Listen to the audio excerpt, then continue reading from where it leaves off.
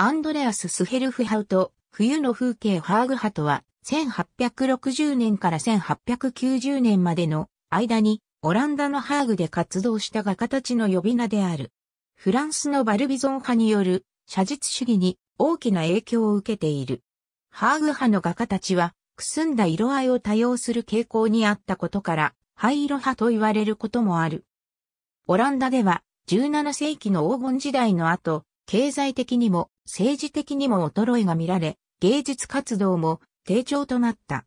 オランダの芸術が復調してくるのは1830年頃であり、オランダロマン主義の時代と呼ばれる。そのスタイルは17世紀の絵画を真似るものであり、風景画と歴史画が世間に最も受けた。アンドレアス・スヘルフハウトは、特に冬の風景画を描いたが、森やハーグとスヘフェ人間の間にある砂丘なども描いている。彼が教えた画家に、ウィナンド・ニュイエン、ヨハン・ヨンキンとヤン・ヘンドリック・バイセンブルフがいる。ニュイエンは、当時のロマン主義絵画の中では最も優れた画家の一人であり、ワイセンブルフホやヨハネス・ボスボームに大きな影響を与えた。当時の絵の勉強といえば、素書きの練習であり、油絵のための学校はなかった。後にハーグ派を形成する若い画家たちは、こうした状況に不満を持ち、アカデミーを去って、それぞれの死を求めた。ヘラルト・ビルデルスは、ハーグ絵画アカデミーを去って、スイスの動物画家シャルル・ウンベールに学んだ。ポール・ガブリエルは国境を越えて、ドイツのクレーベに向かい、風景画家、E.N. バラント・コーネラス・ココイクについて学んだ。ヨゼフ・イスライルスは、フロー人間とアムステルダムのアカデミー教育に飽き足らず、パリに出て、フランソワ・エドアル・ピコの画塾に出席した。ヤコブ・マリスも、ハーグのアカデミーを去り、アントウェルペンの学校へ、さらに、パリのエルネスト・エベールの元へ行った。その弟、マティス・マリスは、アントウェルペンのニケーズ・ド・ケーゼルについて学んだ。ヘンドリック・ウィレム・メスダグは、フローニンゲンを去りブリュッセルのウィレム・ルーロフスの下で、技術を磨いた。彼はまたローレンス・アルマタデマからも教えを受けている。1830年代、テオドール・ルソー、ジャン・フランソワ・ミレー、シャルル・フランソワ・ドービニー、ジャン・バティスト・カミーユ・コローといった画家たちが、フォンテーヌブロー近くのバルビゾンの森により集まって、自然を見たままに描くことを信条として制作を行い、これが有名なバルビゾン派となった。1850年代、オランダの画家たちもこれに習い、街中を離れて画業に打ち込むためオステルベークの田舎に集まった。いずれもバルビゾン派の影響を受け、素早い筆致で見たものを絵にしていった。ヘラルト・ビルデルスの父ヨハネス・ビルデルスは1852年にオーステルベークに移り、それを慕って多くの生徒がやってきた。アントン・モーブ、マリス三兄弟がこの地を訪れたほか、ウィレム・ルーロフスやポール・ガブリエルもたびたび訪れた。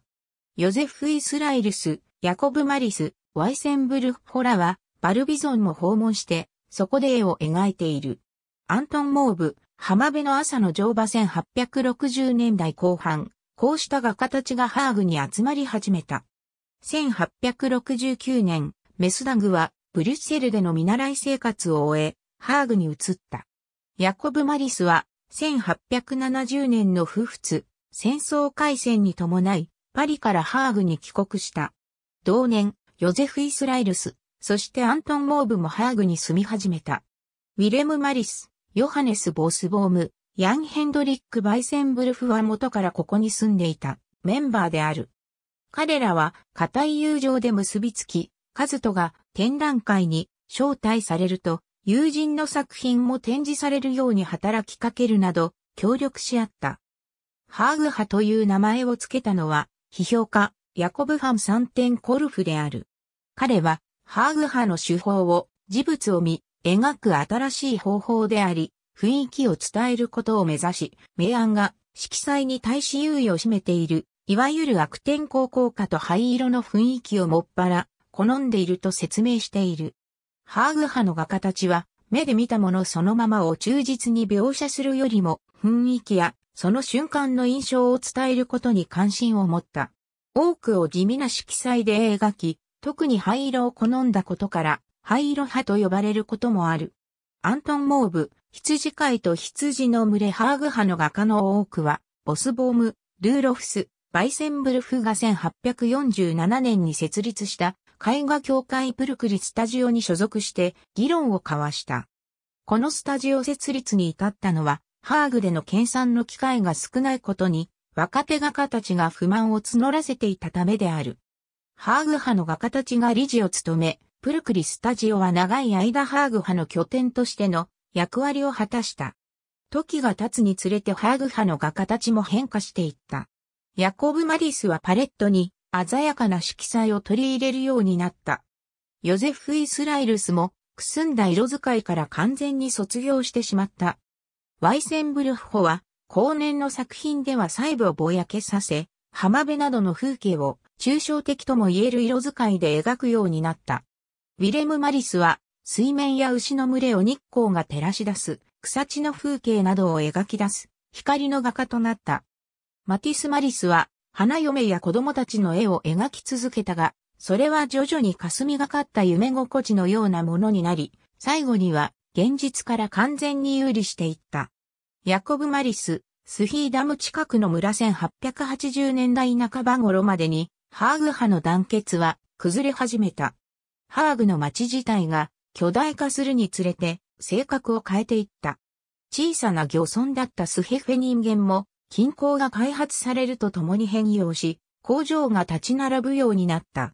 ワイセンブルフとルーロフスは、ハーグが急激に成長しすぎていると感じ、干拓地に移って画業を続けることにした。アントン・モーブとヨゼフ・イスラエルスは、北ホラント州ラーレンに移り、ラーレン派と呼ばれるようになったが、その内容はハーグ派を引き継ぐものであった。